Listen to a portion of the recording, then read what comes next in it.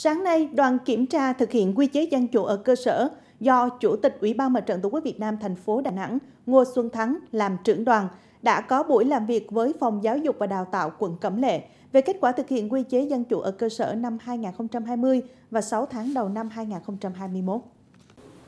Theo báo cáo của Phòng Giáo dục và Đào tạo quận Cẩm Lệ, thời gian qua, quy chế dân chủ tại cơ quan được thực hiện xuyên suốt trong quá trình tổ chức nhiệm vụ năm học. Hiện phòng có 9 cán bộ công chức, viên chức, quản lý 43 trường mầm non, tiểu học, trung học cơ sở và 293 nhóm lớp. Những năm qua, công tác kiểm điểm tự phê bình và phê bình lãnh đạo quản lý của cơ quan phòng được thực hiện nghiêm túc như kiểm điểm đảng viên có dấu hiệu vi phạm liên quan đến trách nhiệm của người đứng đầu về sai phạm tài chính của trường Hoa Ngọc Lan, sai phạm trong thi tuyển viên chức ngành giáo dục năm 2020. Các đại biểu trong đoàn kiểm tra đề nghị Phòng Giáo dục và Đào tạo quận Cẩm Lệ cần phải phát huy những kết quả đạt được, đồng thời khắc phục các thiếu sót, tiếp tục tăng cường công tác kiểm tra, giám sát các hoạt động của cơ quan để chấn chỉnh kịp thời những sai lệch, có các giải pháp chuyên môn để nâng cao chất lượng giáo dục tại các trường học trên địa bàn quận.